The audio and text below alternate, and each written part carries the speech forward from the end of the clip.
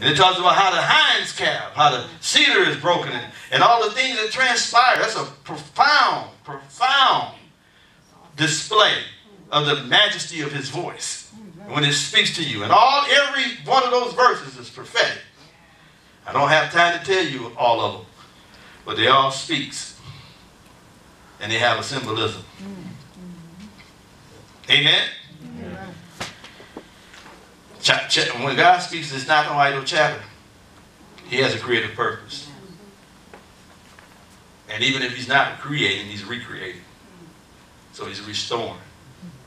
Amen. Can we agree with that? Amen. Okay. Our biggest test will be found in our ability to choose truth over what life is throwing at us. Mm-hmm. Your biggest test. Anybody ever been in a fork in your life? Mm-hmm. In a fork, not a little fork. I'm saying between caught between two opinions. You had to choose the side with God or stay on the side you're on. Anybody ever been there? Come on, give me a hand. All right, thank you, Jesus. Just making sure I'm still in the right building. But yeah, your biggest test is going to, you're going to have to choose what life is throwing at you. You're going to choose, am I going to stand up for truth? Am I going to let my flesh keep talking to me and lead me another way? Am I going to allow my imagination to, to sit as God, to exalt Himself above everything that is God? Remember, that's what we're doing on Sundays. The brightness of His coming won't allow it to happen. You can't exalt yourself over God. You submit to God. You submit to His word, and the devil flees. Amen. And I'm telling you, if you're wrestling with what, what, what the truth is, then it's probably some deeper things going on. Hmm.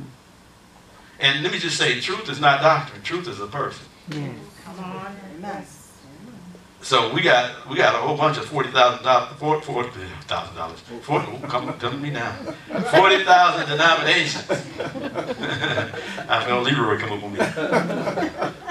Money coming, but 40,000 40, denominations are, are based on the supposition of truth. It's subjective truth. But God wants to bring us to a point, a point of absolute truth. Yes. And absolute truth comes out of intimacy. Yes. Please hear that. Mm-hmm. Anything of value, anything soluble, which means anything that brings stability to your life is going to come out of intimacy. I can sit here and speculate. I can sit here and share truths, toss terms around, mm-hmm. and it could just be in the air, never land in your heart. But when you get intimate, you hear his voice to what I'm saying. Mm-hmm. And then all of a sudden, the imagination and then the deeds will cease and the ekballo will happen. Amen. And it won't even be a big shindig. It won't be horns and whistles and skyrockets. You can hear the gentle voice. You can hear his voice speaking to you in your moment, giving you the tenacity and the strength and encouragement to rise up. And come on now, y'all play with me. Y'all like y'all don't even know what I'm talking about. I'm, I'm, I'm, I'm telling you, this is what it's, it belongs to us. He said, My sheep hear my voice.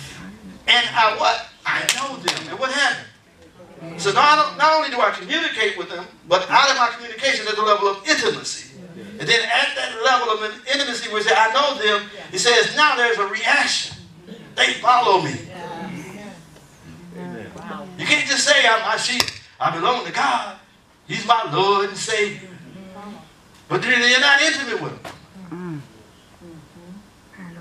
And it's cold love. The church has cold mm-hmm. love as it relates to God. Your love, your walk should be an indication of your love. Oh mm. boy. your reaction to what God is saying mm. should be known in your walk. Mm. So why Jesus told him, he said, you'll know them by their fruits. Right? Did he say that? He basically telling you you know them by their works. Or you know them by their walk. All of them did the same thing, said a different way. So we can sit around and we can try to get apostolic, prophetic, kingdom, deliverance, deep life, uh, Melchizedek, all the terms. Stuff I long to share, but I can't. I do. I long to say, hey, look, man, let's go over here and look at the king priest order and all this other stuff. Talk about immortality. That belongs to us. Lay, I don't want to lay again the foundation of their works. Mm-hmm. That's what he said in Hebrews 6, right? Mm-hmm. But a repentance towards God. I'd rather have that share it. I'd rather share the light and say, this is the way. Walk ye in it.